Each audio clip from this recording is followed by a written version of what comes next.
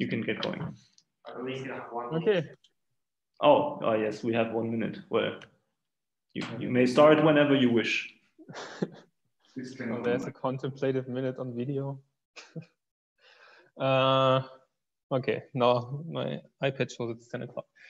Um, all right, so uh, so yesterday um, we defined this category of condensed sets and then also of condensed Abelian groups. And today we want to do some first computations uh, uh, with condensed sets and condensed Abelian groups. So some computations. and so the first thing I want to talk about is um, cohomology.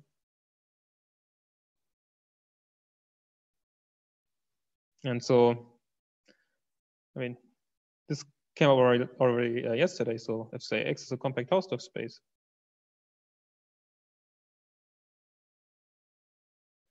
then we had this uh, X was, let's say M is some Abelian group, discrete Abelian group, um, the sheaf cohomology. It's the sheaf cohomology groups. And as I stated last time, uh, you can also compute these explicitly as Čech cohomology groups. And, and uh, if X is a CW complex, for example, this is also the same as these singular cohomology groups of X with coefficients in M. So these are some important variants of your topological group, uh, topological space. And uh, now we advocate that you should replace all your topological spaces basically by condensed sets. And so then the question arises whether this important invariant, uh, whether you can also recover it from X considered as a condensed set.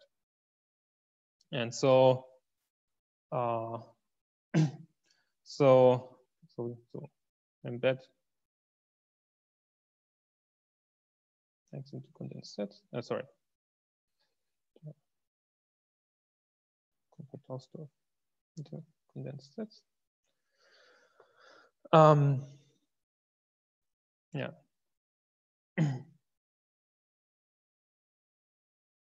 How to recover this within. Uh, so how to recover this invariant, called cohomology group? how can I write this uh, as something condensed sets? And in fact, there is a naive guess for what it should be, um, namely uh, in any topos. I mean, there's really some uh, in any topos. T, and it also works in condensed sets, even though it's not a topos quite for set theoretic region reasons. Um, if say X is in T, and M is some Abelian group object on T, one can define the cohomology groups, some of the kind of T cohomology groups of X with coefficients in M. Uh, so there's two ways to think about this. Uh, one is to somehow take the slice topos of all objects in the topos over X, and then M defines a sheaf. And so you can take its cohomology um, with coefficients in M. So this is the topos. This is a Abelian sheaf. So T restricted to X, let's say. Sheaf.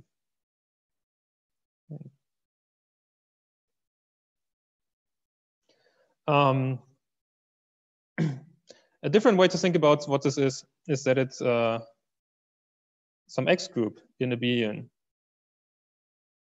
uh, sheaves uh, from the free abelian uh, group on on X uh, to N.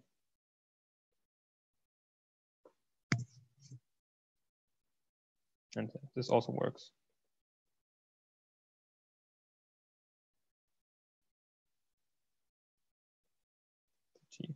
Condensed sets.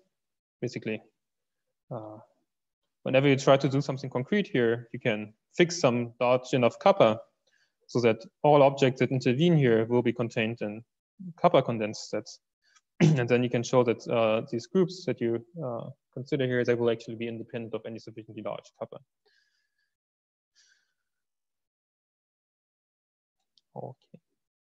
Okay. so a priori, there's some of this problem that if you want to compute cohomology on a topos, you somehow need to take a co-limit over all possible uh, covers. And if your topos is large, then a priori this might be a large co-limit, but actually uh, you can restrict to the small co-limit and yeah, will stabilize somehow.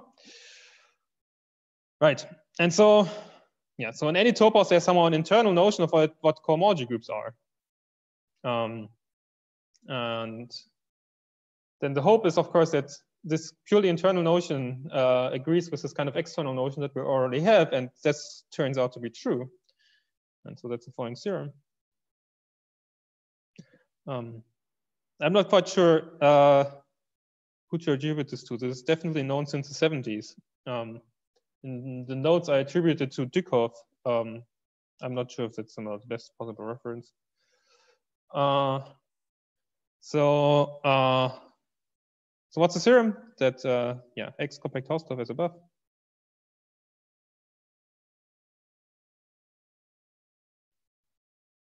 And M, some uh, discrete abelian group. So which I can also consider as a condensed abelian group and so, uh, I am in this formalism here. Um, then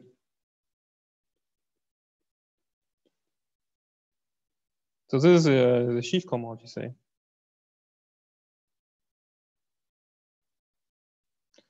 Uh, this is canonically isomorphic to the cohomology of uh, somehow in, let me write cont here. So some of this internal cohomology that I just defined here of X considered as a condensed set uh, with coefficients in M considered as a condensed abelian group.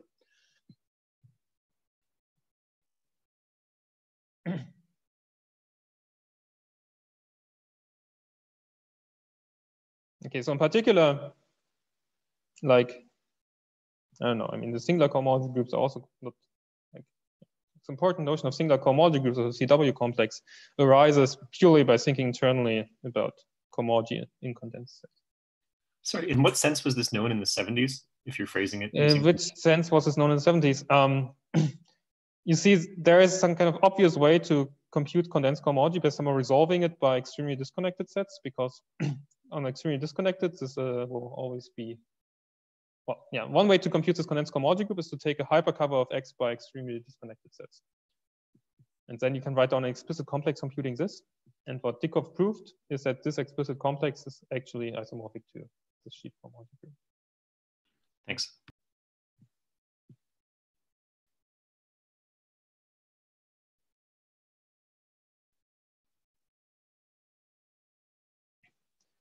Okay, let me uh, prove this. So this is done in uh, steps. So step zero. Um, step one is a case where x is uh, profinite. Well, let's say step zero. It's a case that uh, x is extremely disconnected.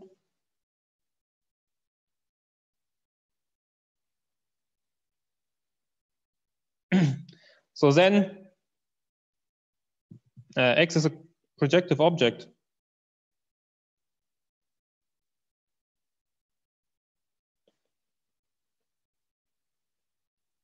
Condensed sets. So for any, uh, let's say, um, in the B and sheaves, condensed sets over X, um,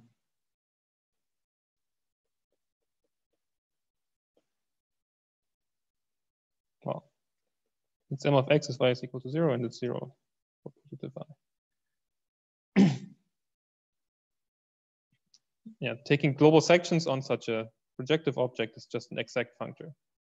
So in this sense, for example, taking sections on x is much like um, taking the stalk of a sheaf, except it's not quite a stalk, but almost as good.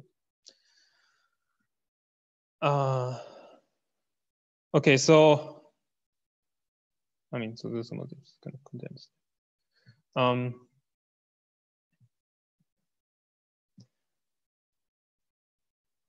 so we can compute the right-hand side. It's just uh, the sections on X. So in our case.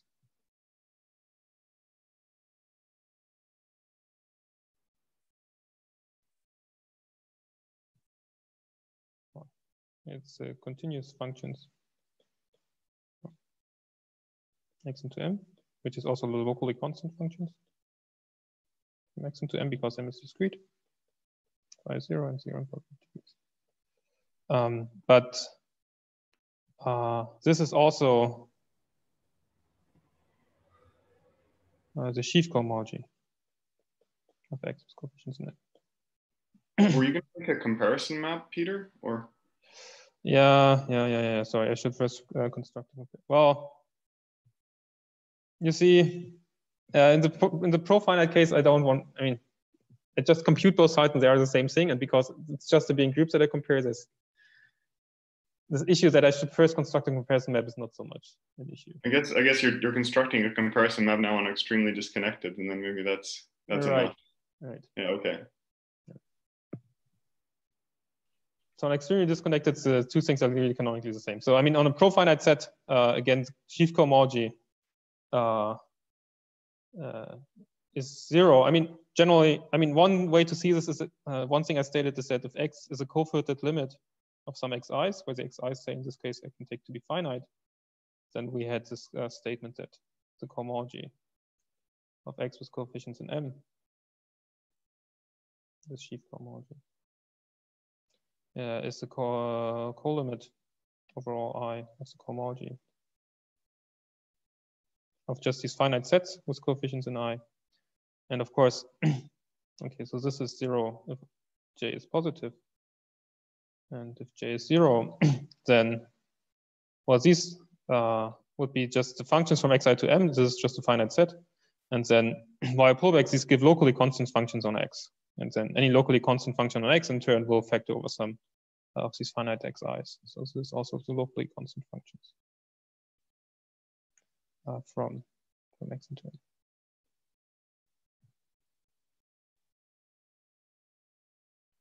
Okay, so maybe there's an explanation for why uh, the sheaf cohomology is also uh, given by this. Okay, so uh, for extremely disconnected, you can compute both sides uh, explicitly. They're both constant in degree zero and given by locally constant functions from x into m. And so, uh, right. So as and said, I should maybe now construct a comparison map. So now in general,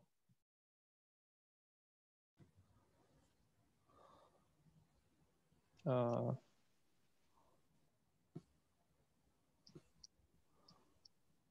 I mean, what's the best way to, well, do the next step. Um, hmm?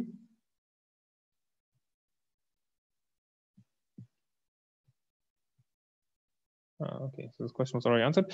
Um, uh, if x is profinite, and then and reason why one way to now construct a comparison map is, is the following abstract thing. So we can consider the pre-sheaf of complexes somehow valued in the infinity category of derived uh, infinity category of uh, complexes of abelian groups, uh, sending any any x to the sheaf cohomology R gamma xm. And then uh, on extremely disconnected, we see that it's uh, given by this. And in general, this is somehow by definition a sheaf. And so this is a sheafification of this um, of this pre-sheaf. And so some of the sheafification of this pre-sheaf is this one, uh, if you do it with complexes. So maybe I should make this remark. So.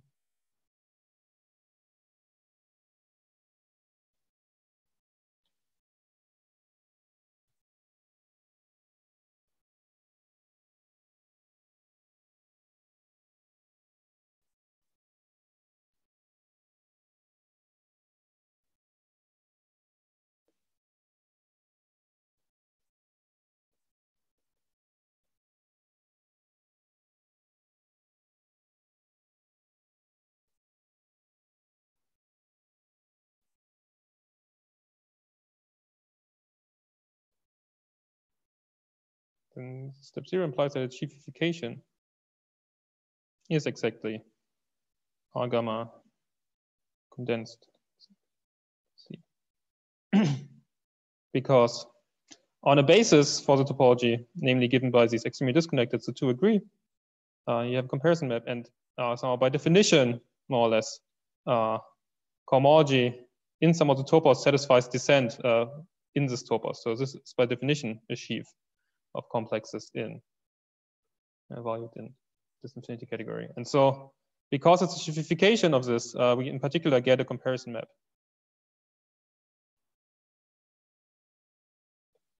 From one to the other.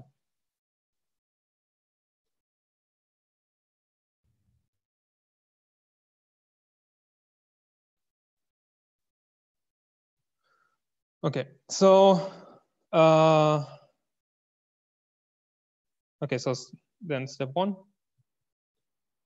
is the case that X is profinite. And what do we need to see? So, so how did we actually compute uh, this? So we already computed the left-hand side, the sheaf cohomology. Um, we still just get the locally constant functions and nothing in positive degree. So we need to see the same for these uh, condensed cohomology groups. So we need to compute this. And for this, uh, there's this kind of, uh, you need to resolve X uh, by these extremely disconnected because for those we already know it. So we pick a, a simplicial hypercover.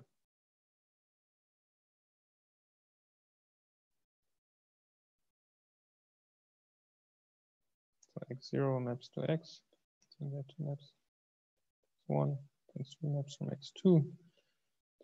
And then, okay, there, there are also in, in principle some maps back. Um, so this whole diagram call X bullet with all xi's extremely disconnected.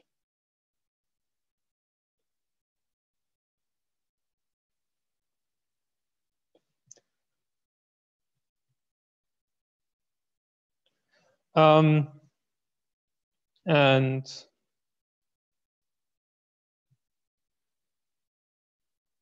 Uh, right, so this is basically what Dustin already uh, start. This process has Dustin already started uh, yesterday. So I mean, you can always pick a surjection onto X from something extremely disconnected. For example, the Stone-Čech compactification on X considered as a discrete set. but then the induced equivalence relation, which is just X0 times over X with X0, will, will again be profinite set, but it's not extremely disconnected itself. So, but you can you can find a surjection onto it. and then there's this way to somehow build this whole uh, simplicial diagram where this x2 is then given by some complicated formula. So it's, it's a minimal choice of something that you can put here so that all possible errors exist. So it must have three maps to x1 subject to the condition that uh, they commute in the right way with maps to x0 and so on. um, but then the minimal choice will again just be some profinite set. So again, you can pick a surjection from some uh, extremely disconnected one and you continue this. Um, so a priori, this ends up being uh, horrendously inexplicit, and uh, you might think how it helps. But so then uh, uh this continues, this condensed cohomology group is computed by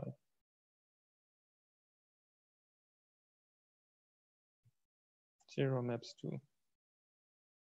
Uh, see. Oh, sorry. Uh, I, um, I always wanted to do this with general coefficients here. It doesn't really matter for anything. Oops, sorry.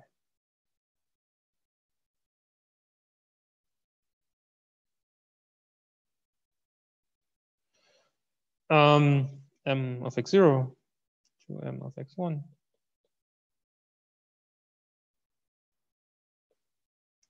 Where, of course, all the maps here, they are the alternating sums of these face maps.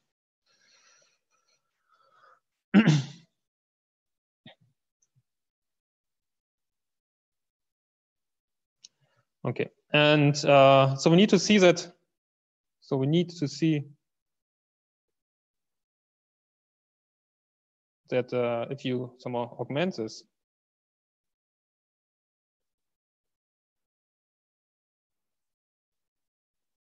that this is exact.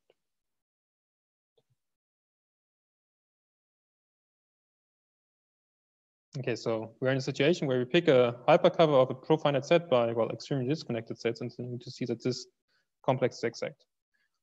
But in fact, um, for the proof, we don't actually need that any of these xi's are extremely disconnected. Um, we just need them be extremely disconnected in order to a priori know that this is the right complex to consider.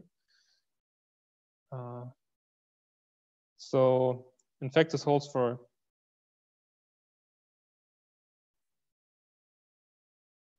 for any hypercover of a profinite set. X by profinite sets. Sorry. And uh, any such, so um, but uh, then in fact it turns out that whenever you, I mean any profinite set, it's a co-filtered limit of finite sets. And similarly, whenever you have such a uh, such a uh, diagram here, I mean, so you can write x as a co-filtered limit of finite sets. Then the map from x0 down to these finite sets, this will also factor through a finite quotient. So you can find a finite set surjecting onto the finite set here. Then there's an equivalence relation here, but then uh, again, this factors. And so then again, you see in the end that you can write this whole diagram, this whole hypercover here, as a co-filtered limit of uh, hypercovers of finite sets by finite sets. One can write.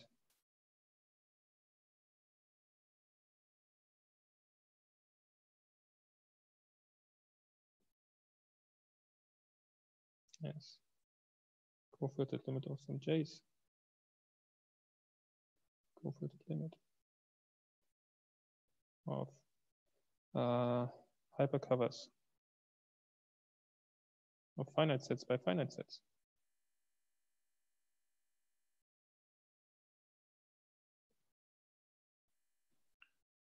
Is that on the nose or like in any given range? Uh,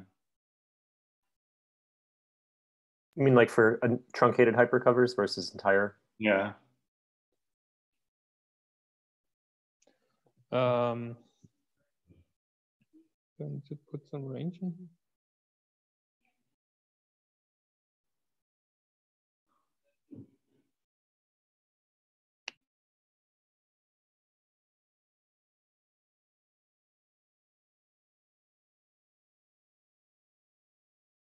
here. I think it's on the nose. and basically what you can do is you can, uh, any hypercover is actually the limit of uh, some hypercovers where you stop refining at some point.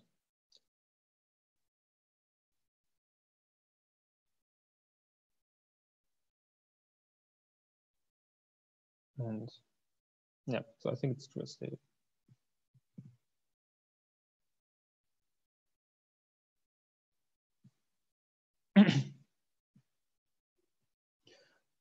And so, um, and then, let me call this complex star. Then star, this complex you want to show is exact is some of the filtered colimit of some, I don't know, star j's. So, I mean, you can write down a similar complex for any j. And um, the locally constant functions on x are, of course, the co-limit of the locally constant functions on the xj's, and uh, similarly for the, for the other ones. And so this whole complex is then the filter co-limit of the corresponding complexes for uh, these finite sets. And so, so it's enough that, uh, so enough that all the complexes for all the j's are exact. And uh, but for this, I mean, one way to say it is that uh, if you have a hypercover of finite sets by finite sets, then it's always split. So I mean, you can find a splitting here, and then uh, you can uh, extend this to a, a certain larger diagram um, of augmented simplicial sets or something like this. So uh, any hypercover of finite sets by finite sets splits. I mean, just, just because any surjection of finite sets is admits a splitting. So somehow in each step, when you somehow do something here, you need to choose a surjection of finite sets, and you can always split. Um, and then, okay, there's some combinatorics that you need to get into if you want to uh, write down an actual proof. But uh, uh, but yeah, when, if you have a split hypercover, then somehow this induces just a contracting homotopy in this complex. So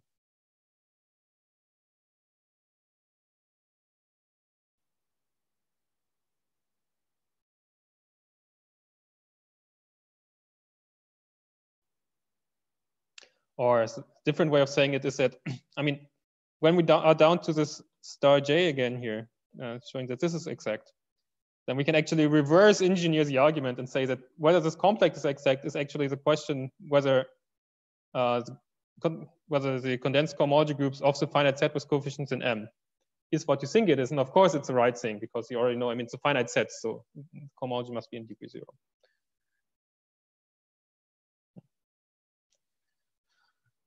Uh, okay, so this uh, means that uh, for pro-finite sets, uh, we get the correct answer.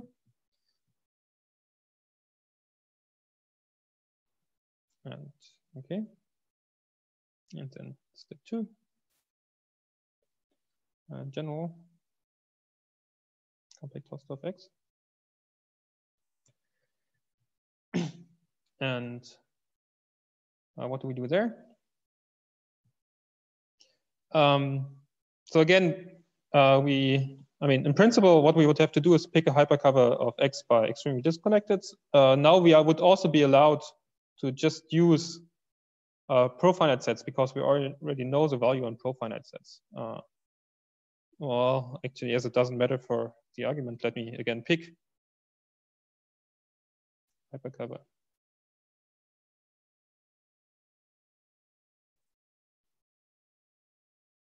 extremely disconnected.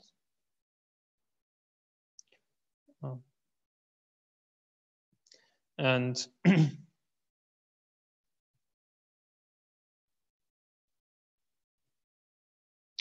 um,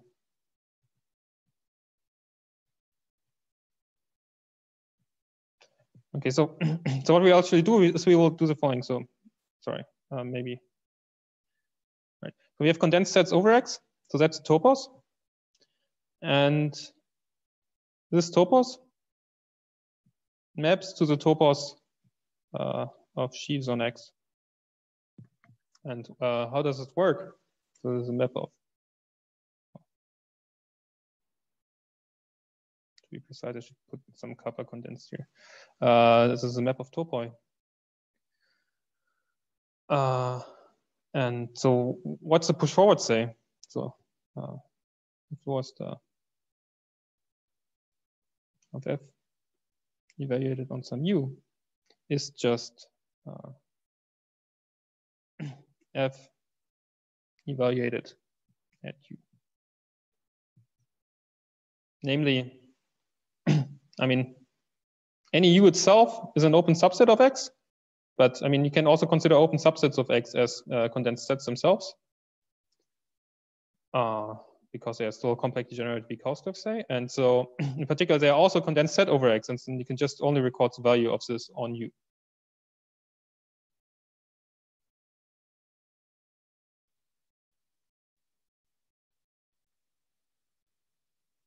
So there was some question here. Should I say something more?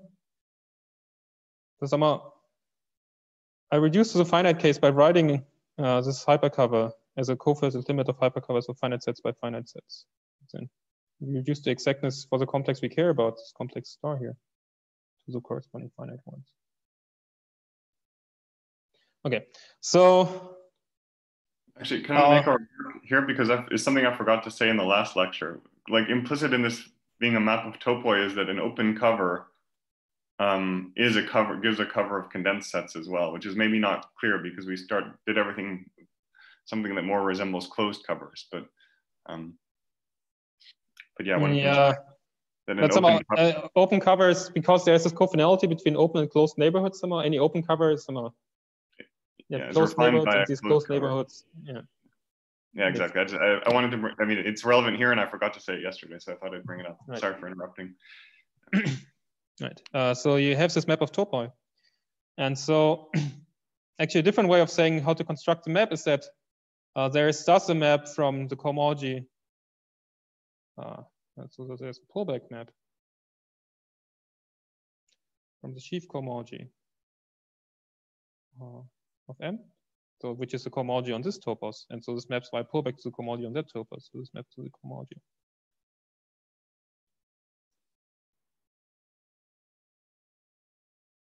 Let me write f up a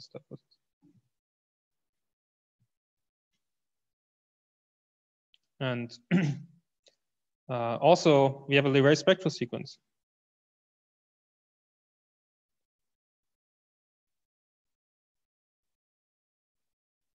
Uh, so as a spectral sequence, would someone say that uh, the HI sheaf on X is coefficients in the RJ of lower star of the constant sheaf converges to the hi plus j condensed of xm. Or if you um, makes a derived statement, the r gamma is the same thing as the r gamma sheaf on x. It's coefficients in the RF star. Yeah. so this is just a slightly more down to earth way uh, of constructing the comparison map that I uh, constructed using uh, maybe too much technology uh, up here.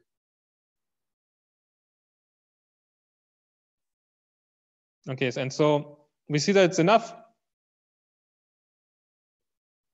to show that Rj f star m is equal to zero for positive j.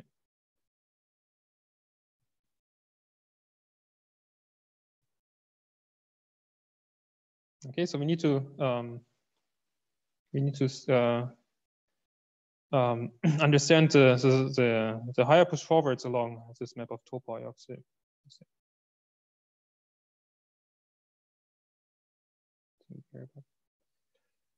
Okay, and so so let's uh, compute this.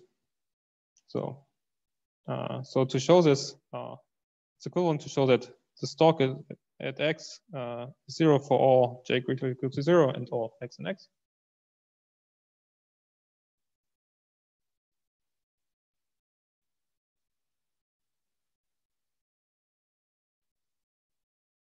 Okay, so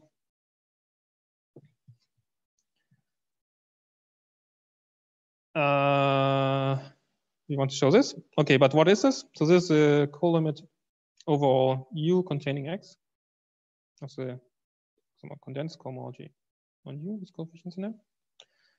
But then because uh, open and closed neighborhoods are cofinal, it's the same thing as the condensed cohomology of the bar with coefficients in M. And what are these? Uh, these are computed by the following complex.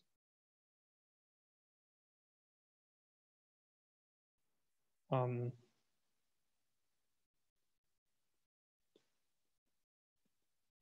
so we had this hypercover of, of X by profinite sets or even by extremely disconnected sets. And we can pull back this hypercover uh, along the map from U to X, which is a closed immersion. So these things are still profinite. and so by step zero, we know that uh, there's no higher cohomology. And so we can just write down the obvious complex and it computes the right thing.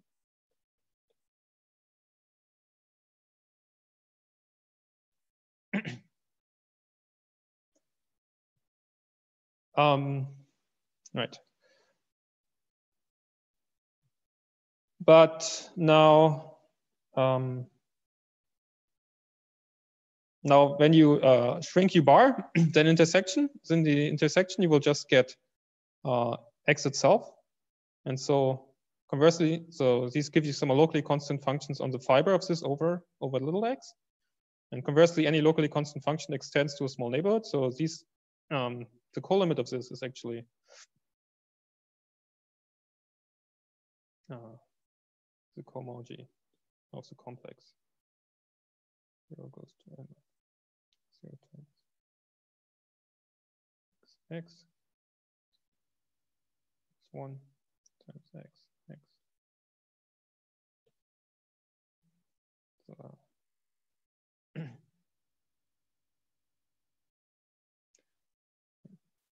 this was some intermediate explanation, and this equality sign somehow refers back to this column material. So we can pull in this column into this complex, and each term individually can be used like this. And uh, but now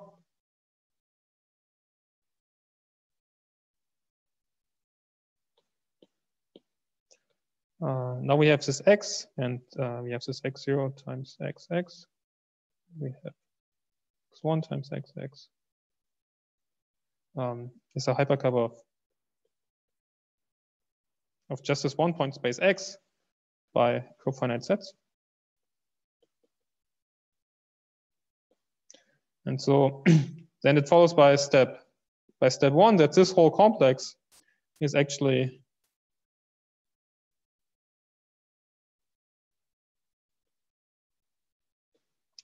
um, that this whole complex, well, actually, uh, when I said it's enough, I also wanted f lower star of m. It's just m. So yeah, that in degree zero, you just get the sheaf itself. I guess it's necessary for the comparison. So we need to see that uh, the stalks, if we try to compute it, should just be m in degree zero. Uh, but that's exactly what we get. So uh, somewhat iffy. So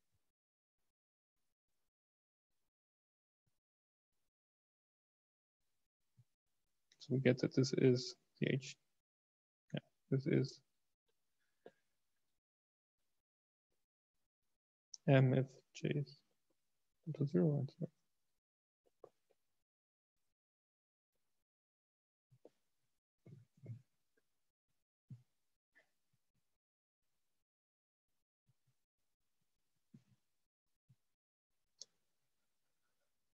Okay, and so thus, right, so somehow we try to, so what happened here is we, we try to compute the, uh, in principle, the cohomology in terms of this hypercover here, but it's difficult to understand this directly. And so instead what we do it is for semi localize on the space X, and then on each fiber, we can actually understand it because then we just get the hypercover of a point by profinite sets where we know the answer.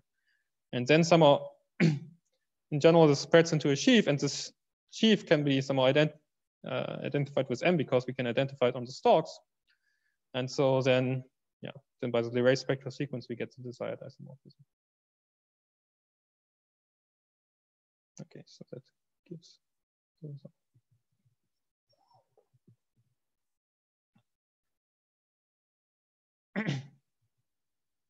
and so uh, there's actually a second uh, result of a similar form um, that uh, is quite important So that's uh, the following theorem. Again, X is a compact Hausdorff space. And now we consider R as a condensed abelian group. Uh, somehow coming from its natural topological structure.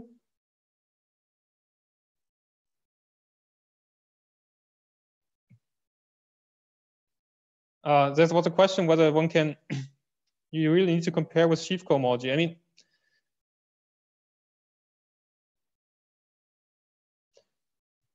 say, how do you actually compute sheaf cohomology? I mean, so we reduced a little bit and uh, reduced it to this thing. But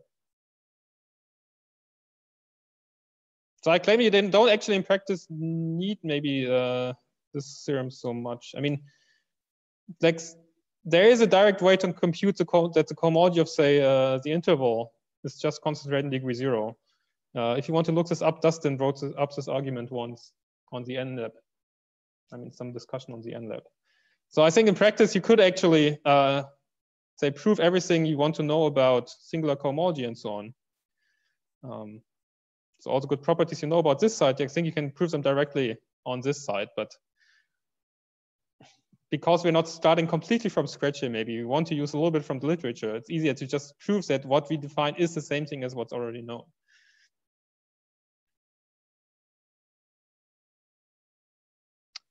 Okay, anyways, so we want to, uh, uh, yeah, we have this nice condensable group, and that's probably an interesting question, what the cohomology uh, on any compact cluster spaces? And so the answer is uh, simple, namely uh, this is just, well, in degree zero, it's by definition the continuous functions from x into r. So these are now not locally constant, of course. And then there is never any higher cohomology. Uh, whereas this other approach, there was some discussion on the NLab in March, I believe. Um, some very long comment section. And somewhere down there, Dustin explains how to compute the cohomology of the interval. Maybe somebody can pick up, uh, uh, post the, yeah, right. This one, yeah, this post, yeah. Okay, so uh, let's prove this one as well. I mean, actually, the problem with this uh, this result is that uh, we we basically want to follow the strategy we used previously, but now we have uh, topological groups, and uh, if you say have the continuous functions on a pro-finite set, then it's not anymore just the co-limit of the functions on the finite sets, but rather it's some kind of completed co-limit here. And so through this whole proof, somehow we, we want to do the same thing, but at several points we need to take a completion. But we want to show that after the completion, it still stays exact. And this requires us um, to, um, to actually prove a more, a better statement that some complex is not just exact, but that it's somehow exact with some explicit bounds. So more precisely,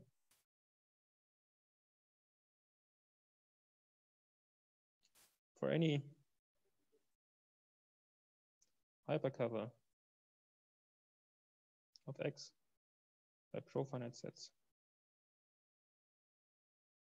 Xi, the complex zero maps to, you just write Cx R to C X0 R, Cx1 R, so is exact. And um, if you somehow have some, so note that all of these things here, they're actually Banach spaces, right? This is the supremum norm. These are Banach spaces. Sup norm.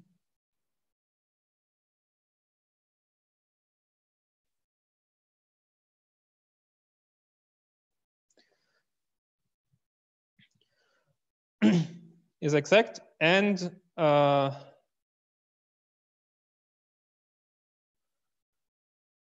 uh, and for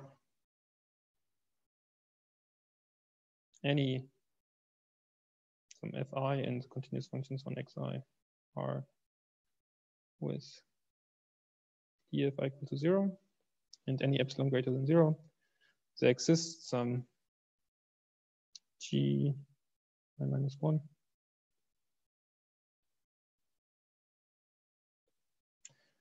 Uh, where x minus 1 is defined to be x. Uh, is fi is a differential of gi minus 1. And so this would just express exactness, but we want uh, some qualitative bound on this, namely uh, we can ensure that the norm doesn't actually grow much.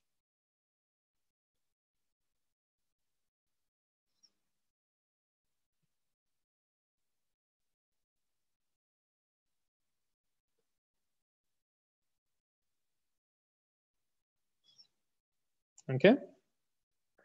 So that does it imply that the image is closed? It implies that the image is closed in particular, but actually you don't need anything for this because whenever you have a complex of Banach spaces that's somehow exact, it's actually strictly exact. That's a consequence of Banach's open mapping theorem. Because say when you take the kernel at some steps, say the kernel of this map, then it's itself a Banach space because it's closed in a Banach space. And then you have this map from here to here is a map of Banach spaces from this to the, the kernel of this map. It's a map of Banach spaces, and if it's exact, it must be surjective somewhere on underlying vector spaces. But then there is this theorem of Banach that if you have a surjective map of Banach spaces, it's always open. And so, yeah, anyway, so. But actually, somehow what we prove here is a much better statement, namely that if you have something in the kernel, you can actually lift it to here in such a way that the norm basically doesn't increase. So increases only by an epsilon.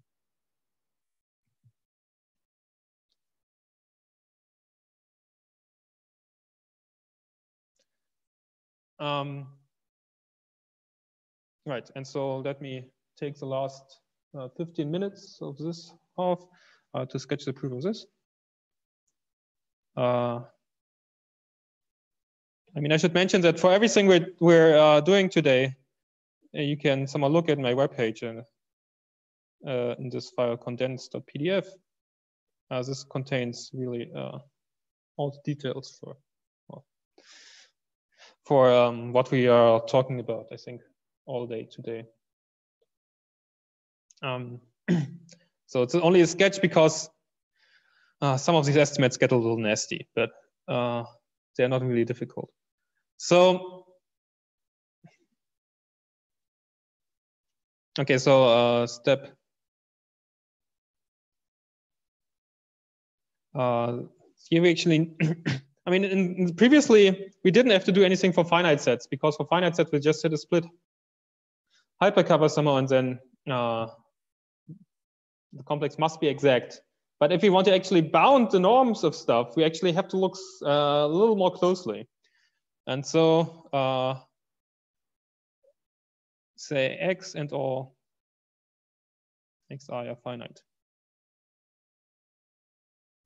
Uh, so then the hypercover splits.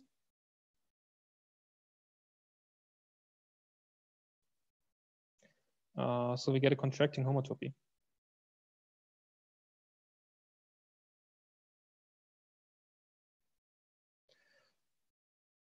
Um, so it's called hi, which goes from continuous functions on some xi to continuous functions on some xi minus one. And if you think about how uh, the combinatorics works, this is actually just induced uh, by pullback along some map from xi minus 1 to xi. Basically, the splitting. Let's go. Si. um, I was actually confused when I first wrote up this argument. So uh, I thought that this map might be an alternating sum of a couple of uh, maps that uh, would induce the splitting, but actually it's better. So split hypercover really uh, induces um, a contracting homotopy where these uh, induced maps are really induced by just one splitting map that you need here.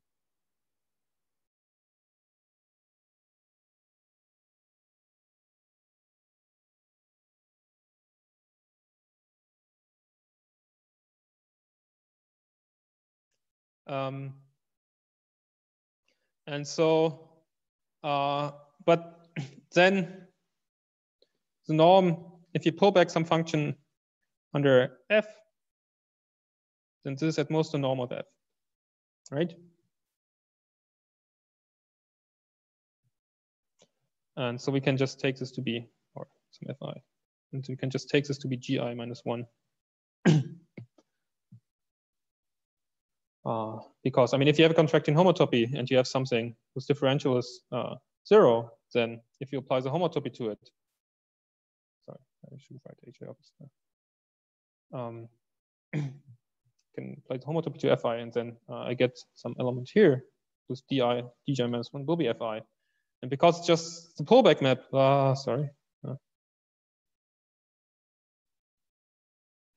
um, it's just some pullback map. Uh, it can't increase the supremum norm. Okay. Uh, right. Step two is x, and well, we always assume that the xi are profinite. And so in that case, as above, I will write the hypercover. as a co-filtered limit of uh, hypercovers of finite sets.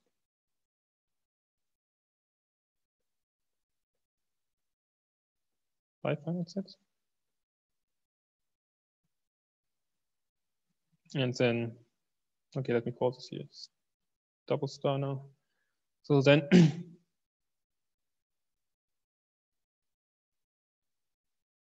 then again, the sequence double star whose exactness we want to prove is somehow given by the finite set 6 j by finite set 6 j. Um, of similar complexes uh, for the finite sets, but then in the end, you need to take the completion of this for the supreme.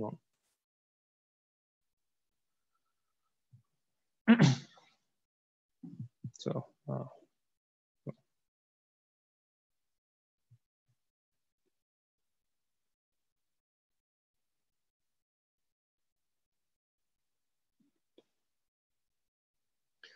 and now we actually we need to see that this stays uh, stays exact, and so this yeah this stays exact this, this desired bounds.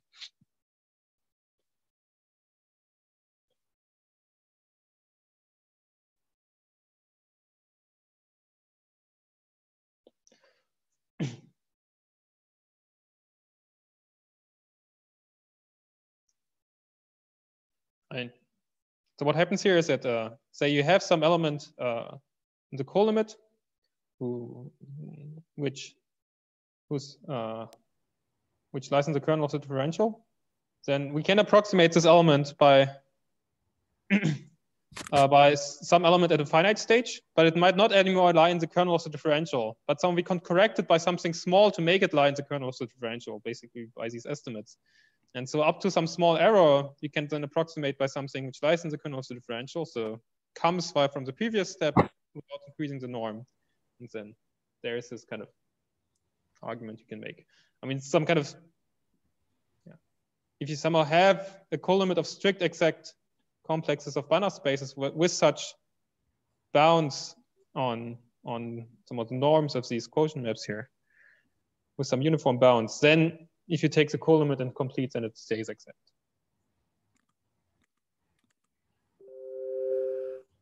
Uh, but if you actually execute the argument, you see that this will introduce this funny epsilon here. So a priori, you might hope that you can still get the same bound. Actually, you, you need a little bit of room. Uh, okay.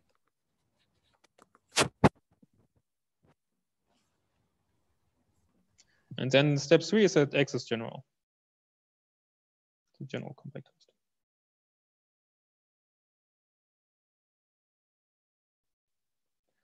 And then we again want to reduce to the local, uh, to, to the fibers. So the idea is, is the same as before. So reduce to the stapleton fibers.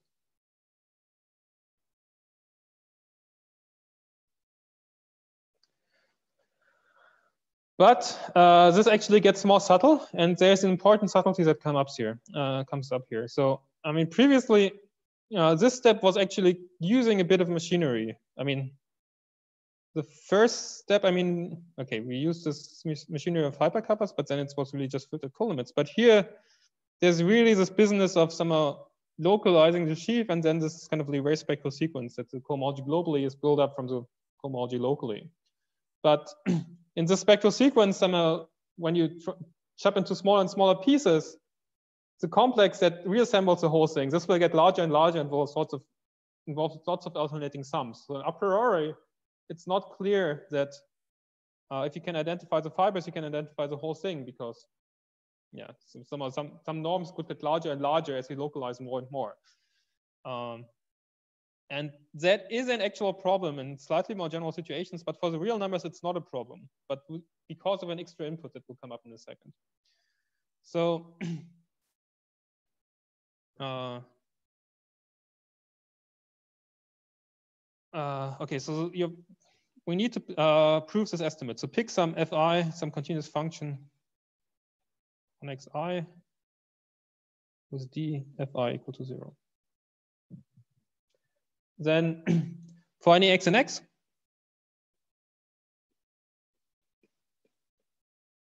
we get some induced uh, restriction to x.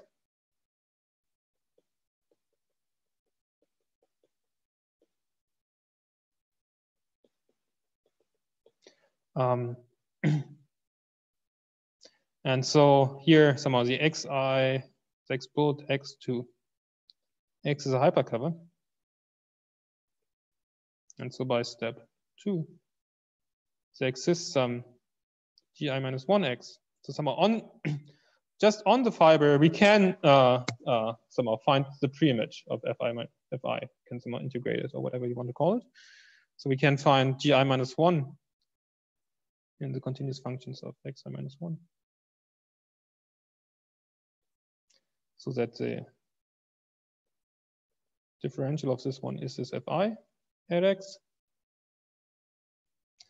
And we can also bound the norm of this gi minus 1 at x.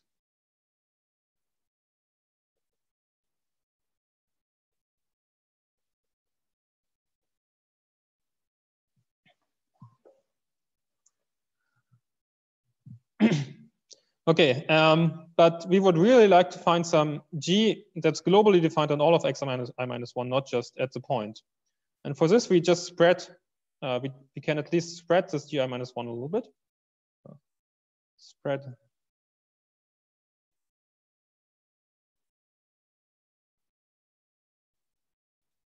There exists uh, some open U containing X and some G I minus 1 U.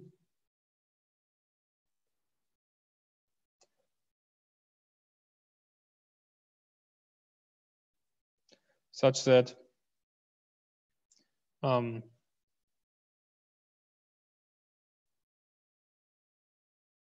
yeah, I mean, so what happens here is, I mean, this is a closed subset uh, of xi minus 1.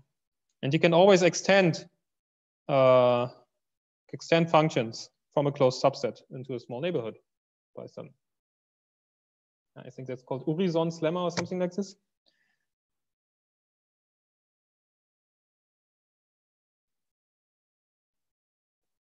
uh, gi minus 1 u restricted to the fiber is x. and I mean, we could all, even spread all the way to xi minus 1 if we wanted to. Um, but what we can also ensure is that after doing the spreading, um,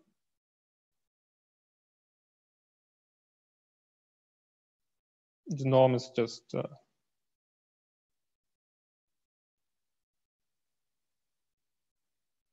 well, we can also ensure that the norm is at most the norm of this one. Uh, this is a general fact. And we can ensure that uh, if we take fi uh, restricted to u and uh, subtract the differential of this one,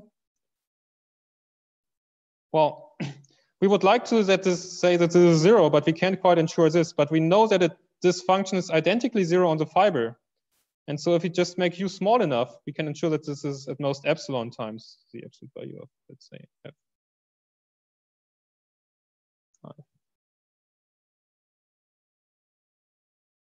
To make use.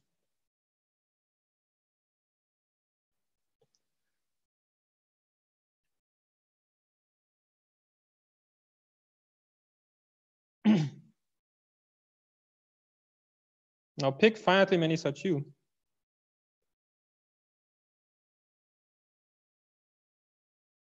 covering X. Uh, and, and now this is really the key point, uh, partition of unity.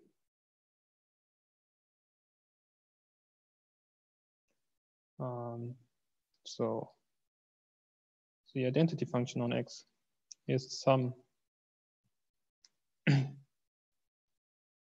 let's call this uj. So j,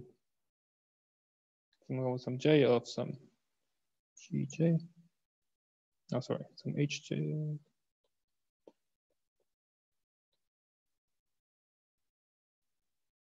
And I what to call them, psi J's.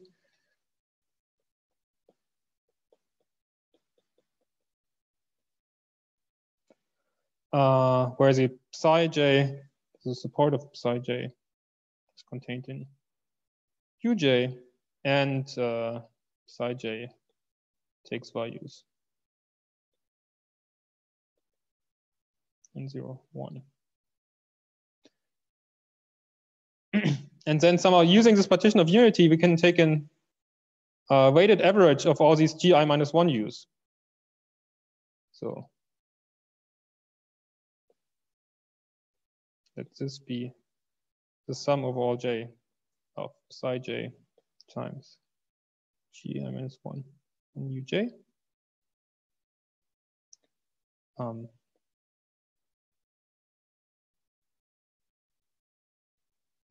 and so this, because the support of all these functions is contained in uj, it doesn't matter that these functions are only defined on uj because as you go to the boundary of uj, these psi j's will become zero.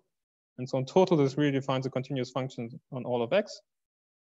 And the norm of this gi minus 1 is at most, uh, well, like at each point, uh, you get this weighted average of all the values of these gi 1s, but uh, these are always at most the absolute value, or the at most this, which is at most 1 plus epsilon times the absolute value of f. Uh, so you see that this is at most 1 plus epsilon times the absolute value of f. And this is because, yeah, some R satisfies the triangle inequality. So it's a Banach space. I will comment maybe on this in just a second. And uh, well, we are not quite done. So if I take the differential of gi minus 1 and subtract CFI, then uh, we didn't quite uh, achieve that even on the use, this is zero. But we at least achieved it at most epsilon times the absolute value of f. And so we didn't quite get it down to zero yet, but it's at most epsilon times the absolute value of f. Right. And so we found some approximate uh, boundary that uh, is equal to this fi. And then you can somehow take this as your new new fi. Its differential is still zero and continue the game. And then somehow, by because some uh, geometric series converges, uh, this process converges.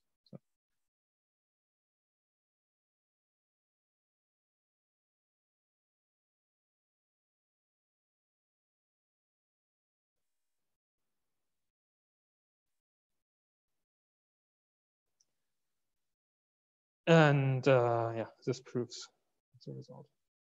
So, so the key in the argument here is somehow the partitions of unity. And that if you take an a weighted average of uh, small functions, then it stays small. And so this is actually a subtle point. So, uh, so need that averages small, small L1 kind of averages functions are small. Are small. So the argument works. I, the point is the partition of unity has norm one, so it doesn't increase. Right, but it has L1 norm one. And if we would actually use, try to do this in some so-called p-Banach spaces, and these will somehow come up when we do real function analysis, this argument does not work. So the argument works for Banach spaces.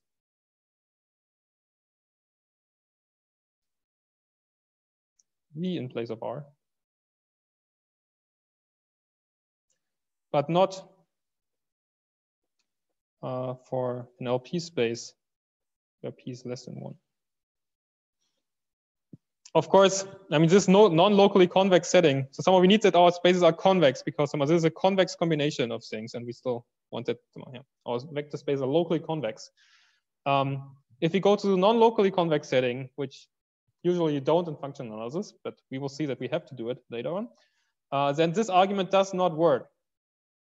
Um, this sum will get larger if you are not in the locally convex setting. And so you cannot produce a small a small such G prime that, that's globally defined. You can only locally find some, but then you can't find one that works globally. And so there's really something uh, happening uh, with this partition of unity here.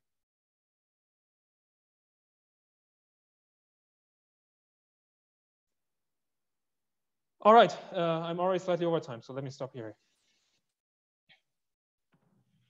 Okay. Thank you, Peter. Um,